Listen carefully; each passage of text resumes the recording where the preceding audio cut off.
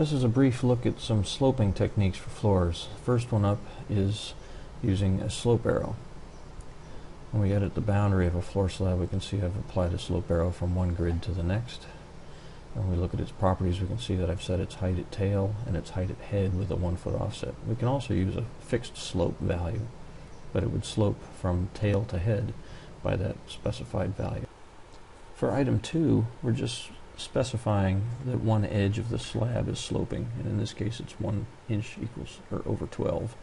So it's very simple. You just set one edge, and then off you go.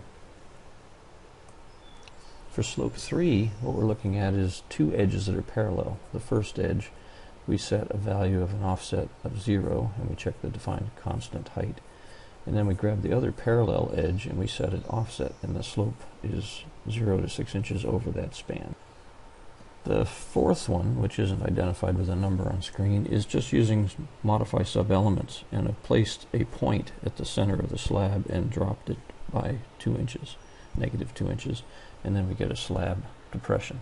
So here's what the whole thing looks like in 3D. We've got the overall slab, and then we have the other three slope, each sloped in their own way.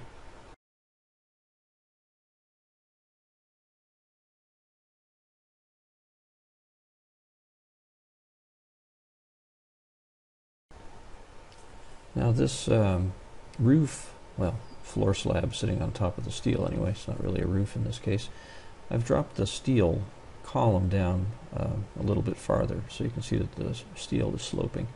And then I'm going to use the boundary, uh, edit the boundary of the floor slab in order to remove the cantilever value that I put in here. I find that if you're going to change sloping steel and then want the slab to follow it, that you have to reset this cantilever, otherwise it tends to distort the surface. But in this case, now I can use the pick supports function for uh, the sub-elements, and I can pick those two beams, and the floor slab will adjust according to the new slope. So it's pretty simple, really, once you get the, the basic form defined. Now I can go back in and edit these uh, outer sketch lines uh, and give it a positive 8 inches, now the other lines, um, because of the direction I created them, or created the beams originally, I have to put in a negative 8, so you have to be careful about which value you enter.